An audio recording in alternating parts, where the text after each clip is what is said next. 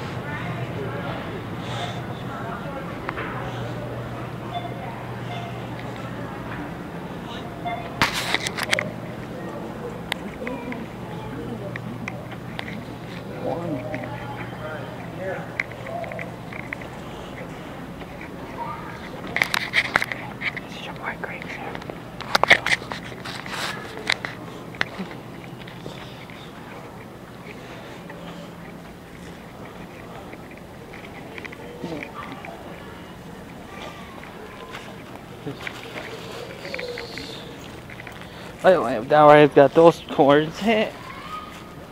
Alright. Well, this big store, well, not that big, but smaller than. This is the smallest Walmart I've ever been to.